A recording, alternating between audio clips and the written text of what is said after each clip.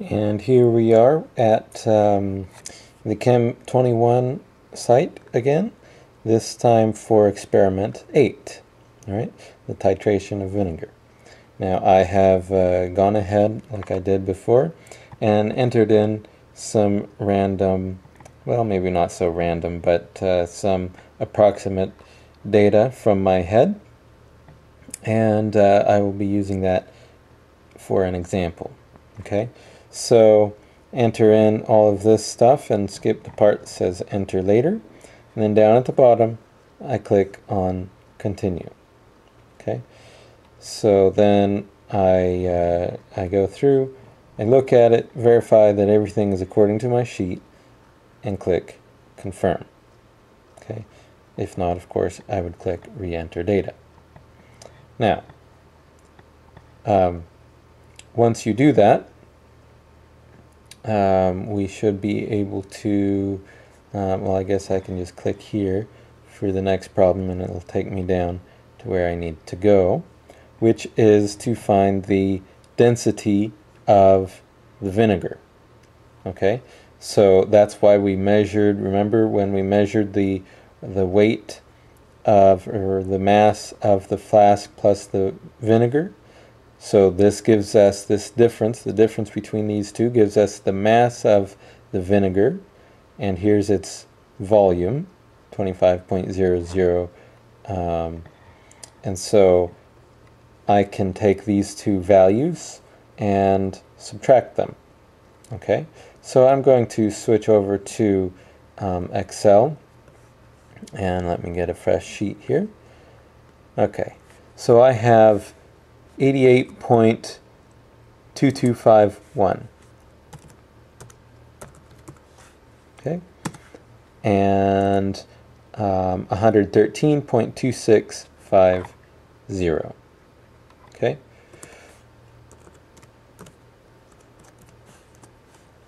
All right.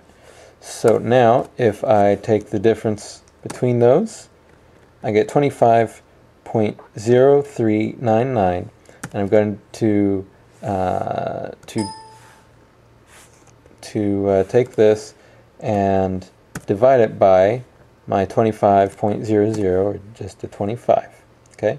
So that gives me 1.0016 um, right now chances are yours is going to be somewhat different than that. I'm not sure what the actual density is uh, for the vinegar but uh, probably slightly higher than that. Um, let's see if I rounded that. Now it's uh, it should take anything um, within the third significant figure, so I should be fine with that. Okay, so calculation correct. Very good. Let's go on. All right.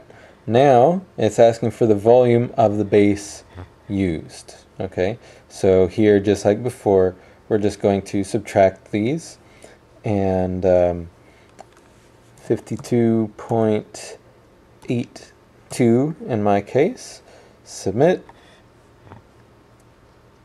And do the next one um, and this one of course uh, when you're just subtracting zero you have a little chance for error there. Alright all right, so I did want to point out that um, what you need to do if you um, used the uh, 15 milliliter portion, um, let's say you had 33.41 uh, milliliters that you used um, for the 15 milliliters. Um, I modified the uh, procedure a little bit and some of you may have uh, followed that modification. If you did, what you what you need to do just to keep Chem21 happy is let's just trick it and scale this up to what it would be um, if we had done it with 25. Okay, so what we're going to do, we're going to take that 33, um, whatever volume you uh, measured with the 15 milliliters, multiply it by 25, divided by 15. All right, and then um, that will be the volume that you would enter into Chem 21. So you see that's my 55.68, that's what I would put in, um, in for this value. Because it's expecting it for 25 milliliters, not 15. So that'll keep it happy. Just do that one little um, little change. Multiply by 25, divide by 15. Okay? Now, um, we want to find the molarity of the 25 milliliters of the diluted vinegar solution. So we want the molarity of the diluted vinegar solution. That's where um, where we what we get from the titration because we titrated the diluted solution. Okay, so uh, we get that molarity from the uh, volume of the sodium hydroxide used and the molarity of the sodium hydroxide. This part comes from experiment 7. All right, so we have the molarity. Let me just put that here. The molarity and we have um, the volume. Okay, um, looking here, I have 52.82 milliliters. Okay, so, and what I want is to take this molarity and um, it helps if I write this out instead of saying molarity or just 0.1001 molar NaOH. Let's spe specify that this is moles of NaOH per liter of the uh, solution. Okay, so now that I know it's moles per liter, I can um, multiply by my volume, 52.82, and again, um, this would be milliliters, but um, the milliliters won't cancel directly, so what I'm going to do is, uh, and I can just put this over 1 if uh, you want to see something there, but there are a thousand milliliters to one liter.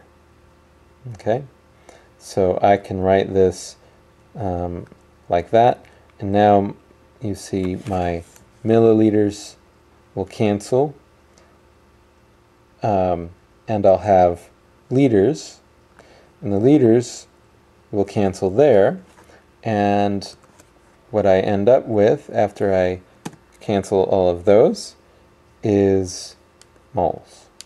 Okay, so that's my moles of sodium hydroxide. But what am I looking for? I'm looking for the molarity of the vinegar solution that I titrated. Okay, so this is moles of sodium hydroxide.